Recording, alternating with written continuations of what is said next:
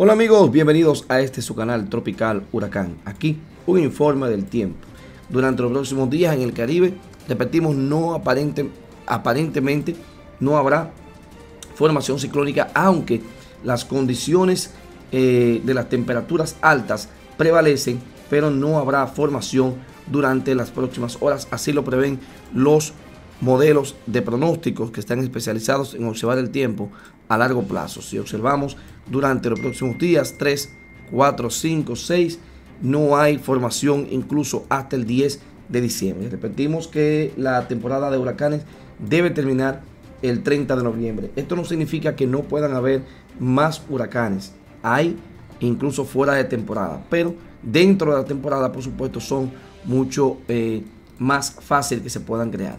Hay que tomar en cuenta muchas tormentas invernales, por ejemplo, en este mismo instante eh, hay varias eh, formas de lo que son las, los huracanes post-tropicales o extratropicales que sí estarán atacando con mucho frío. Y ustedes pueden ver ahí, esta línea azul es un frente frío que llega desde Toronto hasta Nashville y este otro frente frío que está atravesando desde el este de Estados Unidos y hasta el Golfo de México.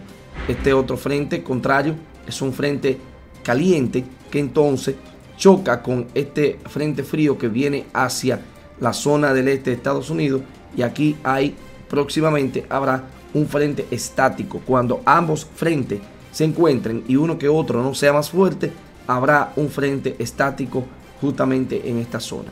Este es el estado del tiempo, eh, especialmente para todo Estados Unidos, Centroamérica, México y también para la República Dominicana, prevaleciendo la importancia de lo que son las precipitaciones en los próximos días, con lluvias en el Golfo, lluvias en Panamá, Costa Rica, algunas lluvias esporádicas en el Caribe y sobre todo donde más lluvias habrá en los próximos días será aquí. Esta tormenta traerá condiciones muy, muy eh, eh, incómodas para el este de Estados Unidos y especialmente para la gente de New York que deberá estar bien abrigada, tener bastante cuidado porque viene lluvia y frío severo durante los próximos días.